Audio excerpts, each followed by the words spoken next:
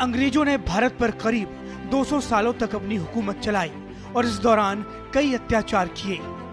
पिछले साल डायलन सुलवन और जेसन हिकेल ने अपनी research report capitalism and extreme poverty में दावा किया कि ब्रिटिश सरकार के उपनिवेश काल के 40 साल में एक सौ पैंसठ मिलियन भारतीय या तो मारे गए या पीड़ित हुए थे।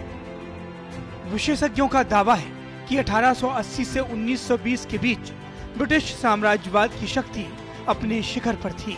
ये ब्रिटेन के लिए तो फ़ायदे की बात थी, लेकिन भारत को बहुत ज़्यादा नुकसान हुआ। अठारह से 1920 तक ब्रिटिश उपनिवेशवाद की वजह से करीब 50 मिलियन अतिरिक्त मौतें हुई। इस दौरान सामान्य रूप से भी इतनी ही मौतें हुई, ऐसे में ये आंकड़ा 100 मिलियन तक पहुँच गया। एक शोध रिपोर्ट में ये भी दावा किया गया कि अंग्रेज़ी हुकूमत ने अपने 200 साल के शासनकाल में भारत से करीब 45 ट्रिलियन डॉलर की संपत्ति लूटी थी।